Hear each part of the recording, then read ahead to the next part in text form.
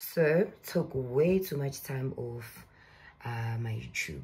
Why? Because I was literally mindfucking myself. There's so many things that have happened over the months that were actually YouTube worthy.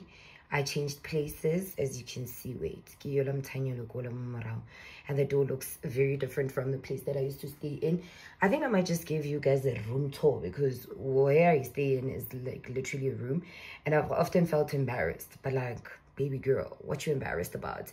So in any case, uh, we've cut hair. I think the last time I was on YouTube, I had hair. I was living in a different place. I hadn't gained so much weight. Like do you get i wasn't bleaching my hair from time to time tried to bleach my hair the other day with my little sister kind of didn't really work out the way we wanted but i'm due for like a proper fixing of this. Also the fixing of this can actually look like me just going bald and then allowing my hair to come back. We've got a wedding in two weeks. My um varsity friend is getting married so i'm hoping i'll be back on youtube in order for me to be able to just vlog. But right now i just walked in from my aunt's place. Um i slept there. Today is the 14th of october and i'm feeling relatively good. I think i saw something yesterday.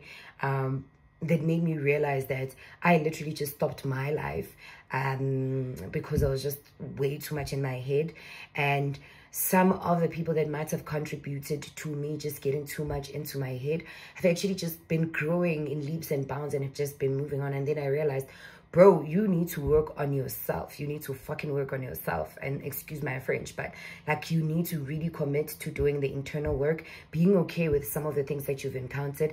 Like literally right now, I just saw, like I just literally saw right now, Guti, and this would be my second phone and i've been saying this for quite a while and i want to drum it into my head up until a point where i get over myself because this is the second phone that i've bought for content creation. The other one i didn't really maximize i didn't really use it to its peak you know um abilities is that peak abilities peak performance.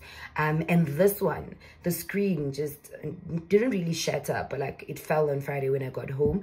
And then now i'm just like oh my god after the screen falling um after the phone falling and then the screen being slightly shattered i'm just like this is phone number two that has the potential to not be used because you can't get over yourself. So i'm just going to be doing a couple of these videos every other day just to give you just um a bit of a wow this is where i am within my own head and I intend on getting over myself. I intend on getting over um, where I stay. I intend on, like, literally, I've been feeling as though I've been doing so well. There's a certain amount of peace that is within me.